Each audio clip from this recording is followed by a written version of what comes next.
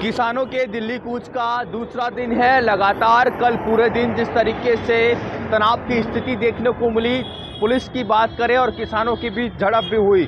पर दिल्ली में जिस तरीके से अलर्ट है, इस वक्त हम सेंट्रल दिल्ली के आईटीओ पर मौजूद हैं और आप देख सकते हैं कि पूरी तरीके से जो दिल्ली पुलिस की तैयारी है, यहाँ पर देखने को मिल रही है। जो एक्स्ट्रा फोर्सेस है, वो यहाँ पर तैनात है यहाँ पर तमाम जो बैरिकेटेड है, क्योंकि जो ये रूट है, इसी रूट से पिछली बार जो किसान हैं वो दिल्ली पहुँचे थे तो इस रूट को एहतियातन पूरी तरीके से, हालाँकि एक तरफ़ का ट्रैफ़िक ज़रूर यहाँ पर खोल दिया गया है, पर लगातार तमाम जो आला अधिकारी हैं, तमाम जो एक्स्ट्रा फोर्सेज हैं, उनको यहाँ पर तैनात कर दिया गया है। तो बॉर्डर्स तो सील है ही हैं, पर जिस तरीके से दिल्ली के अंदर जो सेंट्रल इलाके हैं, चाहे आईटीओ की बात करें, लाल किले को पूरी तरीके से लोगों के लिए बंद कर दिया है, और अब जिस तरीके से आई पर हम खड़े हैं और आईटीओ पर पूरी तरीके से बैरिकेटिंग की गई है। सुबह का समय है ट्रैफ़िक जाम पूरी दिल्ली में देखने को मिल रहा है। लोगों को भारी परेशानियों का सामना करना पड़ रहा है। पर इस बीच दिल्ली पुलिस और जो एक्स्ट्रा फोर्सेस जो लगाई गई हैं, वो काफ़ी एक्टिव नज़र आ रहे हैं। और दिल्ली